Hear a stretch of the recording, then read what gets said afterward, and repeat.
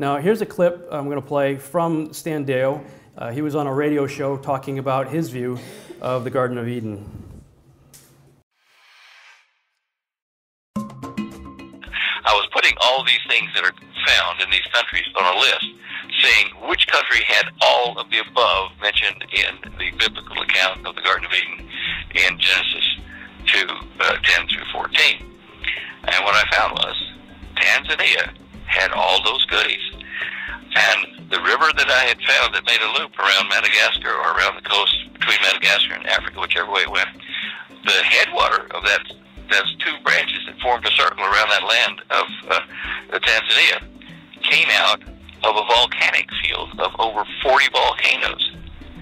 And strangely enough, there was a huge riverbed from that same area going all the way down the uh, Great East African Rift to form the other three rivers of the Garden of Eden. They all came to a head at the same place in northern Tanzania in the middle of a huge volcanic field.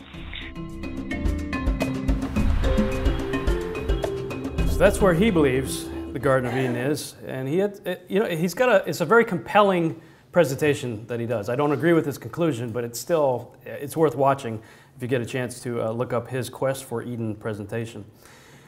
Even though Stan gives a really good argument for what he believes, I think this, and, and he, these are his uh, views of where the rivers are. I think, at least to me, this makes more sense. Uh, I believe that the white represents the source river. It says it flowed out of Eden and broke off into other branches, right? And I believe for a while, the uh, Gihon in red uh, paralleled, it was on top of the source river that flowed from Eden. Uh, and I believe that's why it's the waters of salvation and all the different things that they talk about uh, regarding the Gihon Spring. I believe it came down uh, through the Jordan area and uh, eventually connected with what we now call the Nile. And if you follow the Nile River on a map, it ends pretty much right around here. But you could see that if it was a bigger river at one time, that it could have flowed through the landmass right there and possibly gone here and here, thus circling or encompassing the land of Ethiopia and the Horn of Africa. And I believe if the source river came down, you know, went up here and fed the, the Hiddekel and the Euphrates, and uh, uh, came down here through this part of the Red Sea, that little finger right there, and the Pison, if it came in and kind of continued like that, then it might explain these other formations right there, you know. And if the source just kind of continued down to the Gulf of Aden and just circled back around like that, it's just a theory. That's what I think may have happened. So as I went and looked at this, uh, these possible locations again, I felt, okay, I think I can rule out Tanzania, especially regard, with regard to what I see in the Gihon. And I also think I can rule this one out. There's not much you can really go on other than the name uh, Gulf of Aden. And also this one, and the Gihon I think is the one that throws that one out of whack. So we have two more candidates left that are, are pretty good candidates actually uh, for where the garden could have been. And I found that following Abraham back to the Garden of Eden is the key. Abraham leads us back to the garden. And that came as a result of doing my other timeline, this one here. And I have them here, by the way, if you want to take a look at them. Uh, it's the Nimrod Abraham timeline because they, they were contemporaries and a lot of wild stuff happened uh, in that timeline. Why Abraham? You ever wonder why Abraham was called, or Abram was called out of Ur of the Chaldees? Why him? You know? Well, he listened, but he's, he's quite a personality, uh, Ab Abram. He's pretty awesome.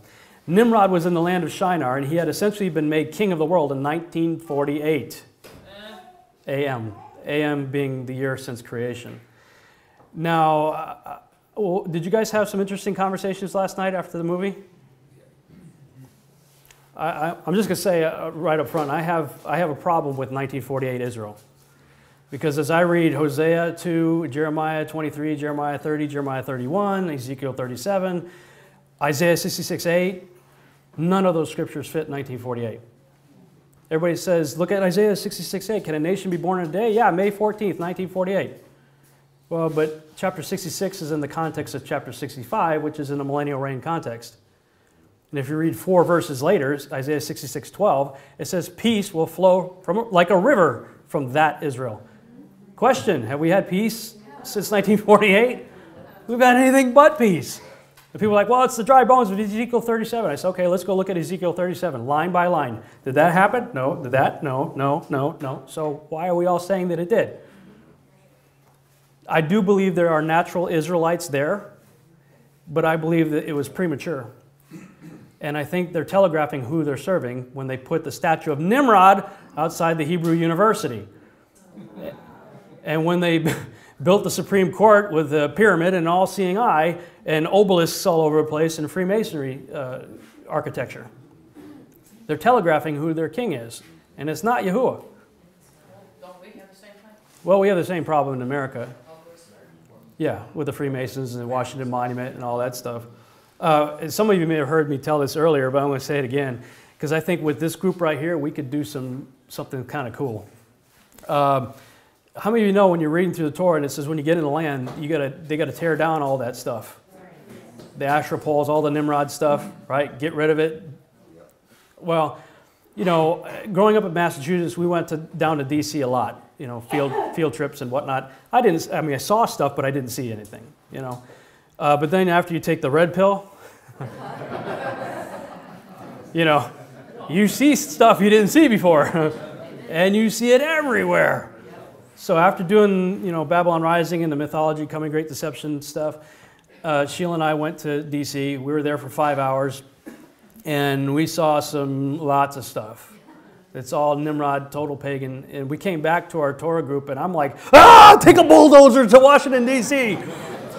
you know, we need to take a wrecking ball to that place. You know, I'm like, you know, we got to tear this stuff down, the Asherah poles and everything. You know? And uh, Phyllis was an older woman who was sitting right next to me. She goes, No, we need to pray. I'm like, Yeah, yeah. but she was right. And um, as a group at Kevin's house, sitting at Kevin and Amanda's uh, kitchen table, probably what, 15 of us maybe there at that time, we prayed with intent against the false gods and idols and monuments in our nation. And I kid you not, it was the next day that the earthquake and the happened and the Washington Monument went boop, cracked, and they, you know. The church too, there. Yeah, the church they had a few problems there too. Uh, of course, then everybody was on Facebook the next day. Rob, Rob, you know. uh, well, we need to keep praying. You know, FBI, CIA, NSA, I know you're listening right now. I'm not going to take a bulldozer to Washington, D.C. or a wrecking ball. Did you hear me clearly? But I will pray against you. You can take it up with Yahuwah. Huh? Repent. Come out of Babylon. so I'm going to suggest maybe that we can get together at some point during Sukkot and pray against the stuff in our country. Because because we have a lot of it. And Yahuwah is not pleased with that. Any more than he's not, he's not pleased with what's going on over there either. You know, we have been deceived that we have Christian founding fathers, right? All our founding fathers are Christians. No, they're not. They're Freemasons. They're deists. They belong to the Hellfire Club when they have bones under the kitchen. You know, Benjamin Franklin. If you don't know what I'm talking about, look it up. Our founding, fa- yes, our founding fathers were not Christians. The Puritans and Pilgrims, sure. Founding fathers, no. But we have been deceived in this country. Well, I think they're deceived over there too, because the Rothschilds are not godly people. Neither is the United Nations or the Zionists. And so while I will support Israel, I'm Israel. And I'm going to wait for Messiah to establish the nation. Because my understanding of Scripture, and again, I'm, I'm a toddler here in the Torah, we just finished our fourth cycle. Uh, I read Leviticus 18 and Leviticus 26. It says, if you don't obey him and obey his commandments and do what he says to do, the land is going to vomit you out. And to think that you can set up shop in defiance of that, eh, he gives you grace, he gives you a leash for a little while, then pow! And if, if I read Zephaniah chapter 2, it says, Gather yourselves together, 1948, undesired nation. And then Zechariah 13 says, Two thirds of that place is going to die and one third's going through the fire. And what did Yeshua said? If you're there in the last days, what did he say? Get out. Get out. So how is that the promised land that we're all looking for? I'm, I'm telling my, you know, I'm all for reaching Israel and the Jew. and have been privileged to lead a number of Jews to, to their Jewish Messiah. But I'm telling them, don't go there. you know, get saved, wait for the Messiah to take you there. Because we're all going to go in together. Um, and I don't think it's a coincidence that Nimrod was made king of the world in 1948 AM, and then in 1948, a state was designed with the Star of Remphan, I'm, I'm going to say. Um, but anyway, that's another message. I get, I get riled up about it because I'm passionate about it. Yes, I want to support Israel, okay? But I'm not going to support Freemasons, Zionists, and a Luciferian New World Order agenda. I'm not going to do it. Um, come out. Well, it just so happened that was the same year that Abram was born. Nimrod was made king of the world, and Abram was born. How many of you have heard of L.A. Marzulli? He wrote a book called The Cosmic Chess Match. And it's a, it's a brilliant concept. It's like you know, God makes a move, the devil makes a move. God makes a move, and he's got playing you know, pieces on the, on the board there, you know. And Nimrod was, I believe, Lucifer's big piece on the, on the board. And he allowed him to do his thing for 48 years or, or so. Uh, actually, he was born in 1908, so he's 40 years uh, when he came to power. And then God put his piece on the board, Abram. This was the same year Abram was born. In fact, Nimrod's evil kingship was part of the reason why Yahuwah called Abram out of Ur of the Chaldees, just south of Babylon, in the first place. We read in Genesis 11 And Terah took Abram, his son, and Lot, the son of Haran, his son's son, and Sarai, his daughter in law, his son Abram's wife, and they went forth with them from Ur the Chaldees to go into the land of Canaan. And they came unto Haran and dwelt there. Okay, so their plan was to go to Canaan. Why did they stop in Haran? Well, some interesting things when you look into Ur the Chaldees. The patron god of Ur was a moon god named Sin.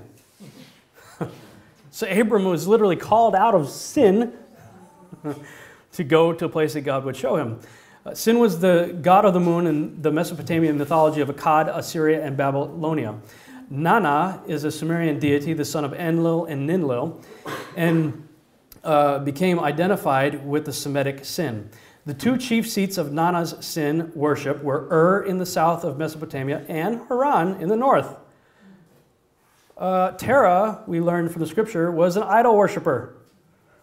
So all he did was relocate from Nimrod's hanging out in Ur, and there's problems there. So he said, "Well, okay, I still like my, my gods and sin. So I'm going to pack up my family and we're going to go to Haran. Everything's pretty much the same there, except Nimrod's not there. Uh, sin is commonly, commonly designated as Enzu, which means Lord of Wisdom. During the period 2600 2400 BC, the Ur exercised a large measure of supremacy over the Euphrates Valley. Sin was naturally regarded as the head of the pantheon. It is to this period that we must trace such designations of sin as father of the gods, chief of the gods, creator of all things, and the like. The quote unquote wisdom personified by the moon god is likewise an expansion of the science of astronomy or the practice of astrology. His wife was Ningal, the great lady, who bore him Utu or Shamash, the sun, and Inanna, Ishtar, the goddess of the planet Venus. The tendency to centralize the powers of the universe leads to the establishment of the doctrine of a triad consisting of sin, nana, and children. We've had some interesting discussions here on Trinity uh, around campfires this week. Uh, I'm not going to go there, but anyway. So Terah was an idol worshiper, and he was one of the chief princes of Nimrod, if you read the story. And we see in Joshua 24 2, it talks about uh, Terah serving gods. And uh, we see in Jasher 9 that Terah and his household, you know, uh, he was into making, he had 12 gods of large size made of wood and stone after 12 months of the year, etc. Thus did Terah all his days. So he died an idol worshiper. Now, when you look at the story of Abram, you see that in Genesis 12, now the Lord said unto Abram, Get thee out of thy country and from thy kindred and from thy father's house unto the land I will show thee. Now, this is what he said. They left Ur, they went to Haran. Get out of there. Leave these guys behind. Keep going. Uh, and I will make of thee a great nation, and I will bless thee, and make thy name great. And thou shalt be a blessing, and I will bless them that bless thee. What is that reference to? Abraham. Abraham. Everybody says, you know, bless Israel, curse Israel. But I'm really, I says, I will make of thee, thee being Abram, a great nation. Okay. I will bless thee, Abram, and I'll make uh, thy name, Abram's name, great. And thou shalt be a blessing, Abram. And I will bless them that bless thee, and curse them that curse thee. Anytime I've started talking like I did a minute ago about Israel, they're like, oh, you're cursing Israel. I'm like, no, I'm not. And where do you get that anyway? it's talking about Abraham right here, at least in my simple reading of it. Uh, anyway, and these shall be blessed, of all the families of the earth be blessed. So Abram departed as the Lord had spoken unto him, and Lot went with him, and Abram was seventy and five years old when he departed out of Haran. And Abram took Sarai his wife, and Lot his brother's son, and all their substance that they had gathered, and the souls that they had gotten in Haran, and they went forth to go into the land of Canaan, and into the land of Canaan they came. And Abram passed through the land into the place of Shechem, unto the plain of Moreh. And the Canaanite was in the land, and the Lord appeared unto Abram and said unto the, and said, Unto thy seed will I give this land, and there builded he an altar unto the Lord who appeared unto him. Uh, I'm not going to go into it, but there's a pretty cool story about what Abraham did, or Abram did, to his father's idols. Yeah. Have you heard the story? Yes. It's, it's a, ask me later if you haven't. It's a, it's a cool story. Um, tell us now? Yeah. All right. Well, I don't want to keep everybody here too long, but okay. Um, basically, you know, he was in hiding in a cave uh, for the early part of his years because uh, there was a, a, prophecy given right after Abram was born that basically Abraham was or, Abram was going to be the destruction of Nimrod. So Nimrod sort of pulled a Herod, you know, kill all the firstborns in the land. And so uh, Abram was hidden away with Noah and Shem. So he spent about 38 years with Noah and Shem, learning who Yahuwah was from those who would know best, those who came from before the flood, right? Then when he came out and he had learned all this stuff about the one true God, he went home and dad's got all these statues of false gods and he's like, I wonder. So he's laying food out for them to see if they'll eat, and you know, having mom cook some real good stuff and laying it out, and nobody's eating anything. So he's getting frustrated by the whole thing he's thinking, well, maybe it's the sun. So he starts talking to the sun. The sun's not talking back. Maybe it's the moon. No, maybe it's the stars. Nothing's working. So he's testing what he learned with Noah and Shem, right? Finally, he says, This is all garbage. My dad made these things. Why are people worshiping him? So he takes a hatchet and destroys all the gods except for the biggest one. And he places the hatchet in the hands of the biggest idol. and dad heard the commotion, you know, and came in and, and, and, goes crazy on him. Why did you destroy all my gods and everything? I didn't do it. He did. Look. you know, I mean, you gotta love Abram. He's just, he's awesome, man. I didn't do it. He did it. There's that, you know, big stupid idol standing there holding the hatchet, right? And and Terah's like, no, he didn't. He's just made out of wood or stone or whatever. I made it with my own hands. And Abram's like, yeah, hello, McFly. Why are you worshiping it then? You know, it, it made no sense to him. You know? So, I mean, and they just kind of went from, from one crazy situation to another up in Haran. And that's when, when Yahuwah said, Look, man, get out and leave dad behind. He actually said leave the family behind too, but he took Lot because he felt guilty. Uh, there's actually another story where uh, uh, Abram was thrown into a fiery furnace. Very similar story to that with you know, Shadrach, Meshach, and Abednego.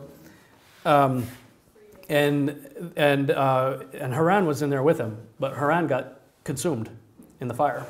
So Abram felt guilty because he survived it, and there was one like unto the Son of Man in there with him, protecting Abram. So he felt responsible to raise his brother's son and take care of him. So you understand why he did that. So here's the journey that, uh, what's that? No good deed goes unpunished. Yeah. yeah. Well, a lot did cause some problems for him for sure. So he left Ur the Chaldees, came up through Babylon, up at Nineveh. These are all bad places, right? Hangs out here until the father says, Get out of there, too, leave your dad behind. And then he came down and he gets down and stops in Shechem.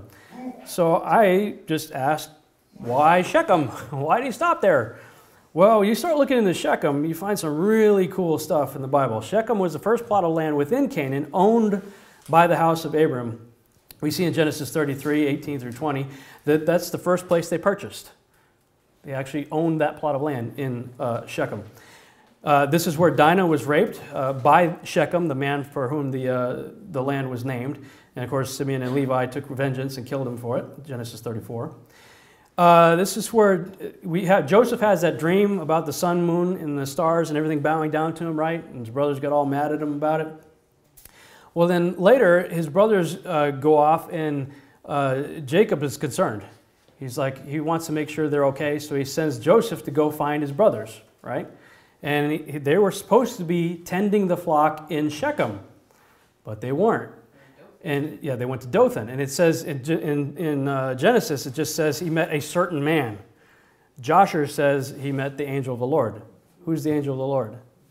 Ah, pre incarnate Yeshua, right? And Yeshua said, Well, no, your brothers have gone off to Dothan. Well, the word um, Shechem means diligence, and the word Dothan means double sickness. So they went from a place where they were supposedly diligently caring for the father's flock, hint, hint, into a place of double sickness. And there they were plotting to kill their brother. And eventually, of course, you know, we, they sold him into slavery. Uh, after the Exodus, when the Israelites wandered in the wilderness for 40 years, do you remember the commandment where they had to go in Deuteronomy 11 and Deuteronomy 27? They were told to go to Shechem and divide the Israelite tribes into two groups, right? One on Mount Gerizim and one on Mount Ebal. The blessings on Gerizim and the curses on Ebal, right? Why did they go all wandering around the wilderness and why did they have to go to Shechem first? Well, again, Jim Staley has a pretty cool insight on that. I'll let you uh, play that for a few minutes here. If you go to Deuteronomy chapter 27, says this Then Moshe, Moses, and the elders of Israel charged the people, saying, Keep all the commandments which I command you today. So here it is. So it shall be on the day when you cross the Jordan into the land which the Lord God gives you that day, that you shall set up for yourself large stones and coat them with lime. And write on them all the words of this law, okay? And that word law is Torah, okay? Write on the words of this law, the Torah, which means instructions, when you cross over, so that you may enter the land which the Lord God gives you, a land flowing with milk and honey, as the Lord the God of your fathers promised you. So it shall be when you cross the Jordan, you shall set up on Mount Ebal these stones, as I'm commanding you today, and you shall coat them with lime. Mount Gerizim, Mount Ebal, right there in the center is the city of ancient Shechem. Okay? This is a narrow passageway. And for the sake of time, I'm just going to tell you the story. What Yahweh said is, He said, I want you to go in, I want you to take the Ark of the Covenant, I want you to take half the tribes, and I want you to stand on half of them on Mount Gerizim, and I want you to take the other half of the tribes, and I want you to stand, uh, stand on Mount Ebal. And he says, I want you to proclaim the blessings. While I'm proclaiming the blessings, I want you everyone to look to Mount Gerizim and when you proclaim the curses, I want everyone to look at Mount Ebal. Right in the middle between Mount Ebal and Mount Gerizim is a natural amphitheater. It's absolutely phenomenal. It's, it's a natural amphitheater. It's a natural like valley. It's kind of off in the distance where the horizon is there. And that's where they stood, right in the valley, so everybody could hear, all, all however many there were. A couple of million people.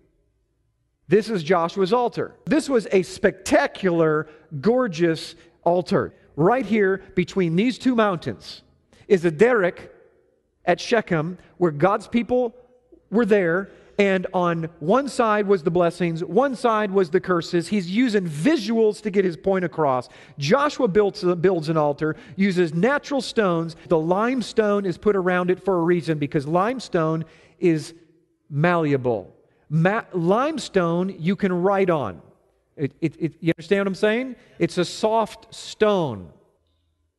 You can only write on something that's soft. And he wants to write it on a heart of flesh, vellum, limestone. And he says, I want my Torah to be written on your heart. They departed and they went to the land of Canaan.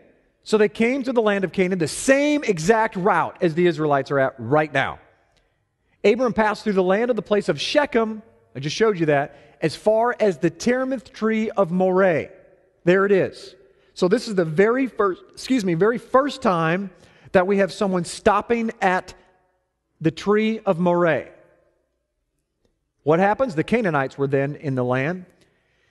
Then the Lord appeared to Abram and said, To your descendants I will give this land. And there he built an altar to Yahweh who had appeared to him. Are you kidding me? This is 400 years, ladies and gentlemen, before Joshua shows up with the Israelites in this exact same place. Now, see, we don't live in the land, so we don't make these connections. But Abraham, that, what, what, what, what was the covenant made from? What happened that day? Did he give him a can of Pepsi and say, drink, let's pray, you know, what's that? No? What, what happened that day? Something was cut in two. An animal was cut in two, remember? And two halves. And what happened? Abraham was put to sleep. And he went through the middle, did he not? Right here, ladies and gentlemen. There's a reason that Mount Ebal and Mount Gerizim are standing the way that they are, because they are standing as a witness 400 years later, the altar that Abraham made and the picture. Why do you think that he had half the tribes go on one side and half the tribes go on the other? And the tabernacle, the temple, the Ark of the Covenant is right dead center in between. Because this is the exact place where Yahweh walked between the two halves. Okay, starting to see a little picture developing here. Uh, I, I, hadn't put that connection together. That's why when I, I, wanted to put it in here, I'm like, wow, that's really cool. Because um, I had made a different connection, but it goes right along with Jim Staley's talking about there. Did you follow what he was saying? That's where he believes that uh, Yahuwah walked through the, the covenant with Abraham. And that's why the Israelites had to go through it again. They had to walk right through. It was the fulfillment of the prophecy given to Abram. Right? Well, I saw this in the Psalms. Uh, looking at the picture here, that's, this is more of an aerial view of Shechem. It, it sort of looks like, like two hands like this. You know, uh, it's a natural amphitheater right there, like these two horseshoe shapes there, Mount Ebal Mount Gerizim, Shechem in the middle. And like Jim said, it's a perfect natural amphitheater. So they could, Joshua could stand in the middle and he could talk, and the people on the mountain could talk, and everybody could hear each other on both sides. Well, it says in Psalm 60, verse 6 God hath spoken in his holiness, I will rejoice, I will divide Shechem and mete out the valley of Sukkoth. And the same exact phrase is, is mentioned in Psalm 108, verse 7. So could it be that that might have been a mountain at one time that he just walked through? and made that little path going up. I mean, if you kind of think of Yahuwah with this train kind of walking through there, and, the, and the Israelites had to go right through that same path to, to come in from their exile out in the wilderness. I, I don't know about you, I think that's really cool. All right. Um, uh, we see in Deuteronomy 11 Behold, I set before you this day a blessing and a curse. A blessing if you obey the commandments of the Lord your God, which I command you th- this day, and a curse if you will not obey the commandments of the Lord your God, but turn aside out of the way which I command you this day to go after other gods, which ye have not known. And it shall come to pass, when the Lord thy God hath brought thee in unto the land whither thou goest to possess it, possess it that thou shalt put the blessing upon Mount Gerizim and the curse upon Mount Ebal are they not on the other side of Jordan by the way where the sun goeth down in the land of the Canaanites, which dwell in the champaign over against Gilgal, beside the plains of Moreh? For ye shall pass over Jordan to go in to possess the land which the Lord your God giveth you, and ye shall possess it and dwell therein. And ye shall observe to do all the statutes and judgments which I set before you this day. There are commandments to stay in Eden, right? You, it's his land. It's not Israel's land. He's got rules for being there. That's why Leviticus 18 and 26 says, Obey him, good to go. Don't obey him, get off my land. I'm the landlord, my house rules. get out. Uh, and, and, I'm looking at this, and it says, uh, For the commandment which I command thee this day is not hidden from thee, neither is it far off. How many of you heard it's too hard to keep the commandments? I read this now and it's kind of like, it is not in heaven that thou should say, Who shall go up to heaven to bring it to us, that we may hear it and do it? Neither is it beyond the sea that thou should say, Who shall go over the sea for us and bring it into us, that we may hear it and do it? That's modern Christianity's attitude, right? How many of you looked at 1 John chapter 2? Starts off, I am writing these things to you, dear children, that you sin not. Wait, wait, wait a minute. I didn't think it was possible to not sin. Wow. You mean? And he says, but if you do, that's okay. You have an advocate, Jesus Christ the righteous, right? Get back up and try again. But how many of you know you spend a, a, a, day like this and you're, you're in a worshipful state and you're, you're doing what you're supposed to be doing, and then at the end of the day you think, wow, I didn't, I didn't think any lustful thoughts. I didn't, I didn't hate anybody. I didn't steal anything. And you're kind of going down the list, you're going, wow, I actually made it through today without sinning. And you say, well, well if I could do one day, why couldn't I do two days? Or three or four? Or a week? Uh, apparently it's possible. But what are we taught in Christianity? Well, I'm just a sinner saved by grace. It's too far. Who's going to go up there and get it? But the word is very nigh unto thee, in thy mouth and in thy heart that thou mayest do it. You know, 119 Ministries did a great video on the Deuteronomy 13 test. Uh, I'm sure if you, you guys are dealing with it too, right? Your friends and family and everybody thinking you're crazy and legalistic and you've fallen from grace and blah, blah, blah. I just say, okay, read Deuteronomy 13 and tell me if your Paul passes it. My Paul does. My Paul passes with flying colors. I love Paul. I'm jacked out of my mind about Paul. Because Paul finally put it all together. It took Paul, a, a, a, an attorney, a scholar, a doctor of the law, who probably had the Torah memorized, and I would say probably the Tanakh. Uh, he certainly had a well, a good grasp on it for sure. One day, Sheila and I were reading, uh, I think it was either Matthew or Mark, early on, and you know, Jesus would encounter somebody and you know heal them or whatever, and say, "Go and sin no more." And Sheila says, "Well, what if we replace that kind of generic word sin with the actual biblical definition of it, 1 John 3 4? What's the definition of sin? Transgression. yeah, transgression. Yeah, sin is transgression of Torah. So I thought, well, that's an interesting idea because you know here's this woman caught in adultery, and he says, "I don't judge you. Now go and transgress the law no more," instead of sin no more. So I thought, huh, I'm going to go to all of Paul's epistles and look up every time Paul uses the word sin, and replace it with the 1 John 3 4 definition of sin.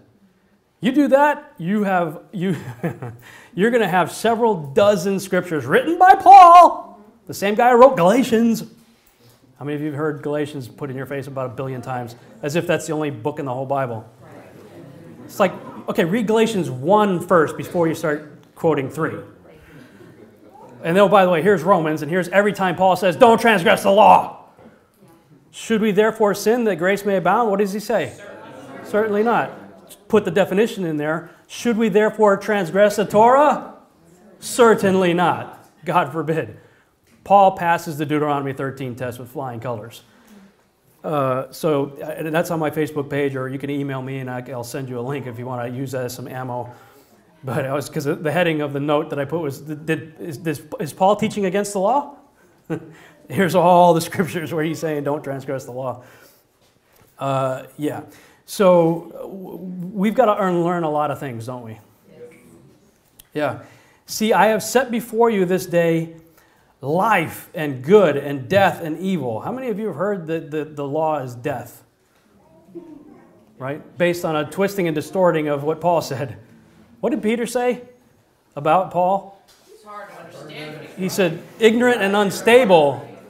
Ignorant and unstable people twist and distort what Paul says to fall into the error of lawlessness. Right? So, I mean, they're just proving themselves foolish if they're using Paul in that way. I've set before you this day life and good and death and evil, in that I command thee this day to love the Lord thy God, to walk in his ways, and to keep his commandments and his statutes and his judgments, that thou mayest live and multiply, and the Lord thy God shall bless thee in the land whither thou goest to possess it. Deuteronomy 30 continues. But if thine heart turn away, so that thou wilt not hear, but shall be drawn away and worship other gods and serve them, I denounce unto you this day that ye shall surely perish, and that ye shall not prolong your days upon the land whither thou passest over Jordan to go to possess it. I call heaven and earth to record this day against you, that I have set before you life and death, blessing and cursing. Therefore, hello, choose life, that both thou and thy seed may live. What I think is cool about this is Moses is talking here and he's, he's making a vow, isn't he? I declare before heaven and earth what I'm saying here. That's why Yeshua said later, heaven and earth, you know, he says, not one jot or tittle until heaven and earth passes away. He's referencing the vow made right here. Not one jot and tittle is going to disappear from the Torah so long as heaven and earth are still here.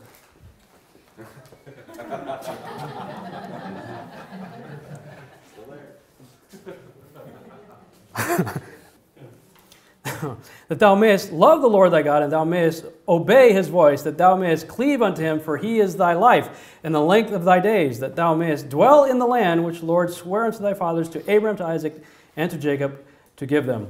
When I first really read this and understood this with the understanding that we now have of Torah, I was struck by some similar verbiage that I saw someplace else in the scriptures, Genesis chapter 2. And out of the ground made the Lord God to grow every tree that is pleasant to the sight and good for food, the tree of life also in the midst of the garden, and the tree of the knowledge of good and evil. And the Lord God took the man and put him into the garden of Eden to dress it and to keep it. And the Lord God commanded the man, saying, Of every tree of the garden thou mayest eat freely eat, but of the tree of the knowledge of good and evil thou shalt not eat of it. For in the day that thou eatest thereof thou shalt surely die. He's giving a choice right here between life and death. Choose life. You chose wrong. You chose poorly, Danielson. I mean, if you contrast Genesis 2 with Deuteronomy 30, you're seeing the same thing, right? Deuteronomy, I call in heaven and earth uh, this day against you, or, uh, to record this day against you, that I have set before you life and death, blessing and cursing. Therefore, hello, Matwai, choose life. Adam and Eve had one commandment while they're in the garden. They broke it, they got booted out. Now they have 10, right? And they're going back to the garden. And he's using the same terminology here. As you keep looking into this, uh, Shechem was also uh, a city of refuge within the promised land in Joshua 21 21. Joshua gathered all the tribes and elders of Israel to make a covenant with the people at Shechem, Joshua 24 25. The bones of Joseph, which were brought up from Egypt, were buried in Shechem, and the city became the inheritance of the children of Joseph, Joshua 24 32. The conversation Yeshua had with the Samaritan woman at the well took place at a, at a place believed to have been a suburb of Shechem in John 4 3 through 42, which I don't have time to get into, but that's a whole other cool story. I mean, you could do a whole presentation just on that. An entire book could be written on some of this stuff. Jacob's well, this is Ellicott's commentary for English readers on John 4 6. Ellicott says, Jacob's well is one of the few spots about the position of which all travelers are agreed. Jesus passing from south to west would pass up the valley of Machna until, until the road turns sharp to the west to enter the valley of Shechem between Ebal and Gerizim. Here is Jacob's field, and in the field is Jacob's well. So, I mean, here you have Yeshua going down the same route Abraham basically came down and going there, and then he has this conversation with this woman at the well, right? And he's like, you know, this, the whole thing, are you hungry? He's like, man, I've been fed, you know. Uh, it's just some awesome stuff right there. Um, then, as we kept looking through scriptures like Hosea, when Kevin went through the book of Hosea, I found another thing that kept pointing me to Shechem and the garden. And we see, but like Adam, you broke, this is Hebrew, uh, excuse me, Hosea 6, beginning of verse 7. But like Adam, you broke my covenant and betrayed my trust. Gilead is a city of sinners, tracked with footprints of blood, priests from bands of robbers waiting in ambush for their victims. They murder travelers along the road to Shechem. So here you see another correlation with Adam and Shechem. Uh, I'm, I'm just saying, I think at this point we can get rid of the Turkey location for the garden and place it squarely in the land of Israel. And I'm actually quite convinced at this point, uh, when I looked at all this, that it's my firm belief that Abram was led out of sin to Shechem and that Yahuwah made his covenant of promise there, and that the Israelites, upon entering the land, had to first stop there, write out the commandments, and pronounce the blessings and cursing, because this is ground zero in the Garden of Eden. I believe the tree of life was located where Gerizim is right now, and the tree of the knowledge of good and evil is where uh, Mount Ebal is. And they pronounced the blessing over the tree of life, and they pronounced the curses over the, the tree of the knowledge of good and evil, and they put a big old altar there with the commandment saying, Don't do that again. Don't mess up again. I mean, it's like everything keeps pointing to Shechem and this strange location right here where all these covenants are taking place. And all these, uh, you know, travelers are going through it and doing these things. That's my belief. I believe that that's where the two trees were located and that Israel uh, is, in fact, the Garden of Eden. And his goal is to get us back there. His goal is to walk with us again in the garden. Uh, just some other confirming scriptures regarding Israel as the Garden of Eden. We see in Joel chapter 2, verses 1 through 3. Blow ye the trumpet in Zion, and sound an alarm in my holy mountain. Let all the inhabitants of the land tremble, for the day of the Lord cometh, for it is nigh at hand. A day of darkness and of gloominess, a day of clouds and of thick darkness. As the morning spread upon the mountains, a great people and a strong. There hath not been ever the like, neither shall be any more after it, even to the years of many generations. A fire devoureth before them, and, a, and behind them a flame burneth. The land is as the Garden of Eden before them. They're coming from Babylon that way. And it says the Garden of Eden is before them. They're heading towards Israel. Blow a trumpet in Zion because they're coming. Uh, we see in Ezekiel, Therefore say unto the house of Israel, Thus saith the Lord God, I do not I, do not this for your sakes, O house of Israel, but for my own holy name's sake, which ye have profaned among the heathen, whither ye went.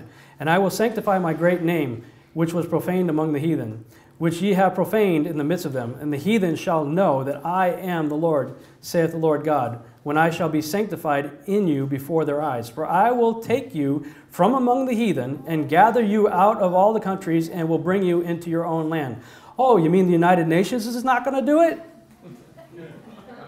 Huh. The Rothschilds aren't going to do it? Huh. The Zionists aren't going to do it? no, I will do this. Then I will sprinkle clean water upon you, and you shall be clean from all your filthiness and from all your idols, and I will cleanse you.